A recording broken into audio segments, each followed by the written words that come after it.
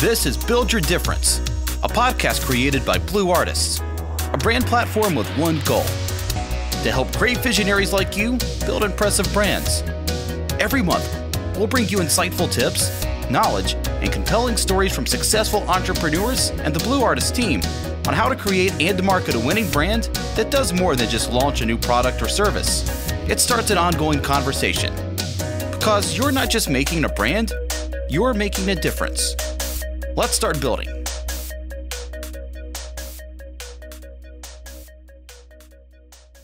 about it is you know Brand Desk is is is extremely rewarding. In fact, um, on our uh, on our website when when we launch, you'll see that the the sort of the short way, the elevator pitch to how we describe Brand Desk is a rewarding way to build together.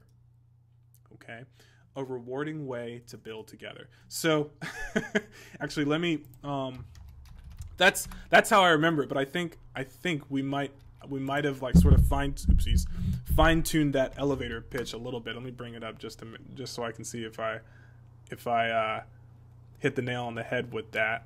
Let's see here. A rewarding way to build together. I'm pulling it up on the on the site. All right, let's see. Okay, ha, here it is. It's a little bit more tweaked, but let me let me let me hear what you think about this. A rewarding way for visionaries to expand their team and fulfill their mission. Nice. That's good. Yeah. A rewarding way for visionaries to expand their team and fulfill their mission. So so that's that's how we see it. That that's how we see it. And the reason I say rewarding is because for every person that that a client introduces into Brand Desk to collaborate on a project, we're going to reward that client. We're going to reward that that client with cash. Um, in fact, everything that a client does on Brand Desk rewards them with cash. And when I say rewarding, I literally mean rewarding, and it's not just clients; it's it's guides, producers, and artists. All everything that can be done in Brand Desk has uh, we we we kind of gamified the whole the whole idea of um of of of building a brand. So, you know, we recognize that there are certain sort of tasks that need to get completed or that need to be done in order to effectively collaborate. And we want to make sure that every one of those tasks provides you with a reward of some kind, whether it's a whether it's some points, um, or uh, or well, actually, it's all points, but different values of points. And as those points accumulate, they become cash rewards. And um, so every so we understand. Look, every time a client says, "Hey, you know, I want to bring two or three of my team members into Brand Desk to collaborate on this logo," they're they're doing us a favor. They're inviting more people into Brand Desk. So why shouldn't we reward them?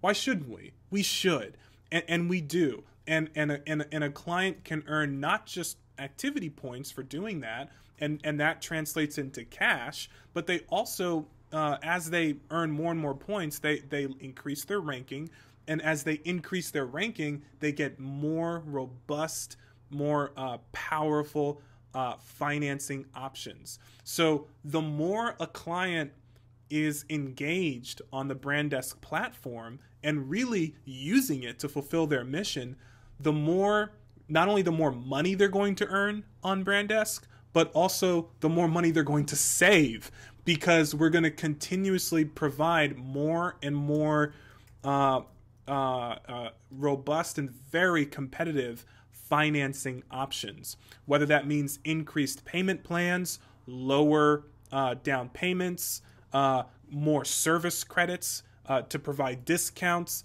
There's just there's an entire sort of ecosystem of benefits and rewards that we are constantly dishing out to clients as basically a thank you, as as gratitude for being engaged on the platform.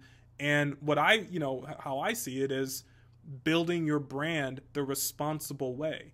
Because I really, you know, I, I got to tell you, and I'm going to speak totally honestly about this.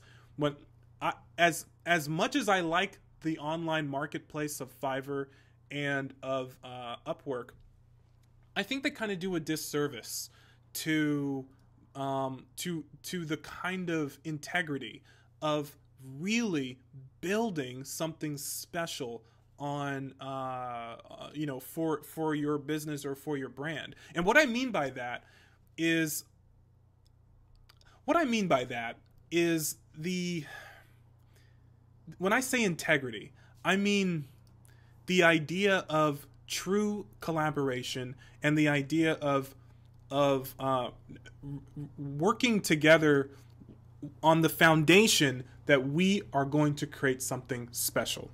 Okay, not just you know I want to spend as little as possible, and and you know here's the mentality. Okay, you want to build something special, but you go onto a platform like that and you, know maybe you're budget conscious and you're thinking okay okay oh my god i gotta get this logo done but i only have i only have a hundred dollars to spend. I've got to find someone under a hundred dollars. And so and so you know all the good artists of course they're charging well over a hundred dollars. So now you're like okay i know i can't get a good artist. So that means if i want to get this done on this platform i have to reduce the the vision that i have into something that can fit within the price range that the platform well, you know that people are competing at yeah. on the platform. Does well, that make sense? Yeah, yeah. And sorry to cut you off because it makes me think. Um, I was sent a um, um, what do you call it?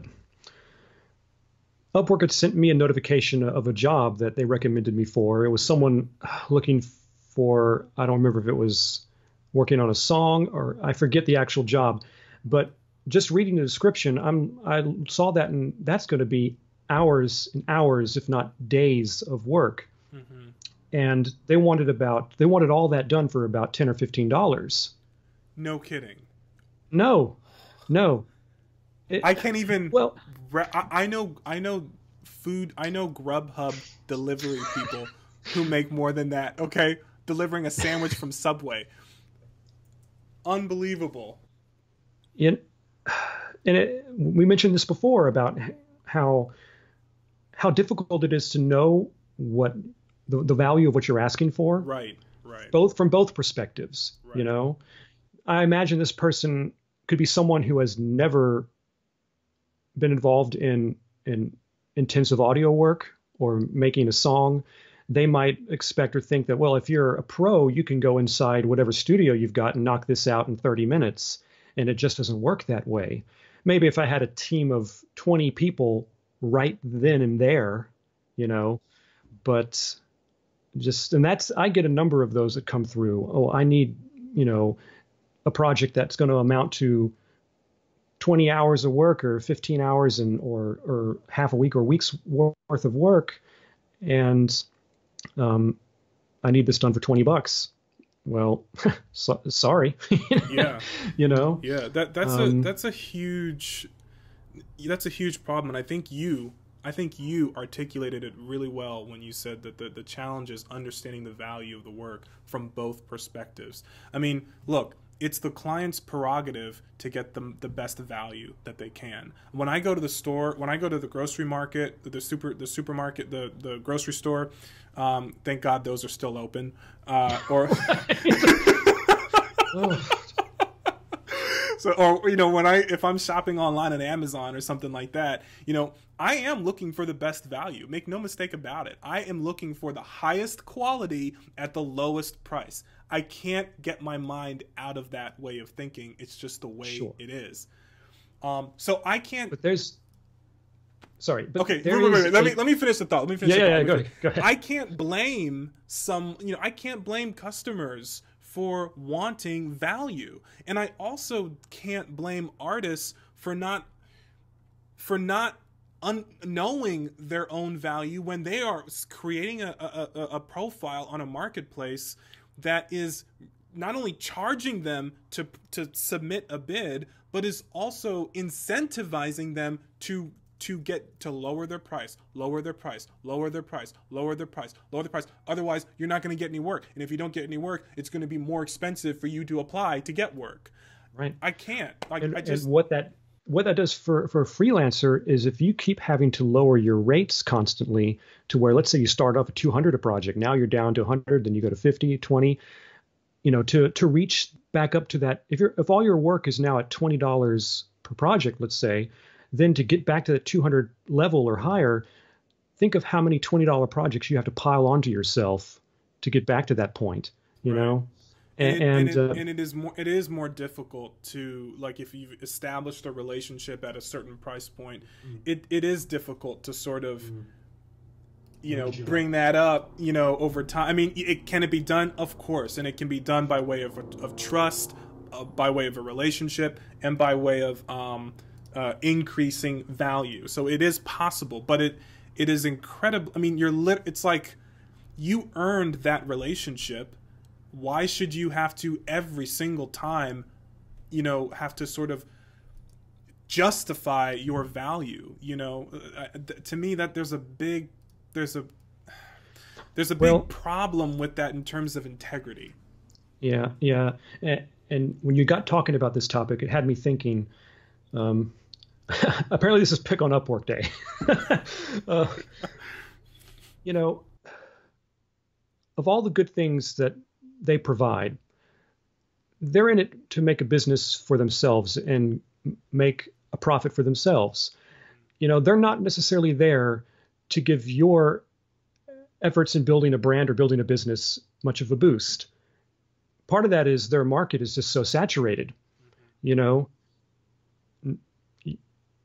there's just too many clients, too many freelancers, too many jobs on offer that not everyone who's on there can get most of the pie.